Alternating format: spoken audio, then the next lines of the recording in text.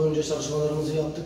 Ee, farklı formasyonda oynayan, saha içerisinde değişkenlikler gösteren bir rakibimiz vardı. Ve buna uygun olarak da yaptığımız analizler sonucunda artı ve eksik yönlerini iyi tespit ettiğimizi düşünüyoruz.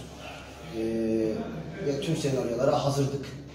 Ee, maç içerisinde de ilk devre ve ikinci devreye baktığımız zaman rakibin üçüncü bölgede hiçbir aksiyonu olmadığını, e, tamamen bizim üstün oynadığımızı düşünüyorum. E, kaçan pozisyonlar var, net fırsatlar var. Bunları değerlendirebilseydik daha farklı olabilirdi. E, odaklandığımız zaman Bodrum Futbol Kulübü olarak neler yapabileceğimizi e, geçen sene ispatladık. Bence bu sene de ispatladık. Saygı duyulacak bir oyuncu grubumuz var.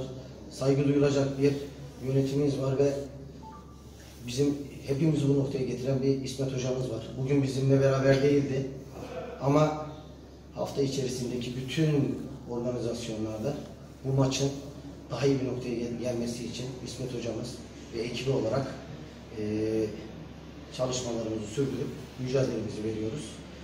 Eee Bandırma Spor'a gele- gelirsek iyi bir teknik ekip olan, iyi bir takım. Eee, lig sıralamasına baktığımız zaman direkt rakibimiz olan bir takım. Eee, onun için bu maçın önemi çok fazlaydı. Son haftalara girildiğini düşünüyorum ve her puanın kıymetli olduğunu düşünüyorum. Bizim için de bu bir puanın eee, sezon sonunda artı olarak bize döneceğini düşünüyorum. Eee Bizim yarım kalan bir hikayemiz var. Bu hayallerimizi ve hikayeyi yeniden yazmak için mücadele etmeye devam edeceğiz.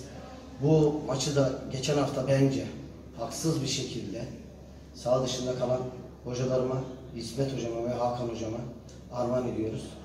Teşekkür ediyoruz.